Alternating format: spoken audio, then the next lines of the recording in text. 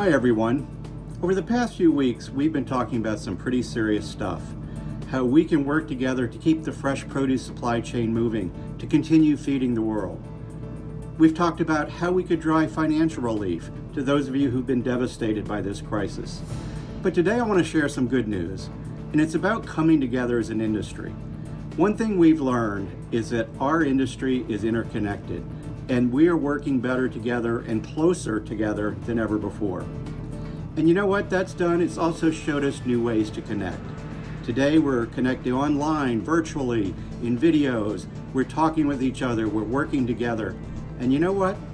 For June 2020, we are going to connect online.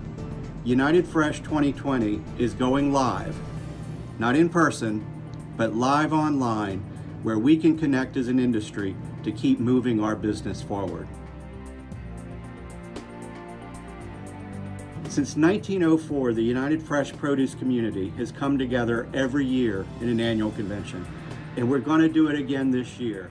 We're creating a new virtual platform where we can connect, meet with our customers, talk with our suppliers, where we can hear from speakers about the critical issues facing our industry, where we can talk together in small discussion groups and big keynote sessions.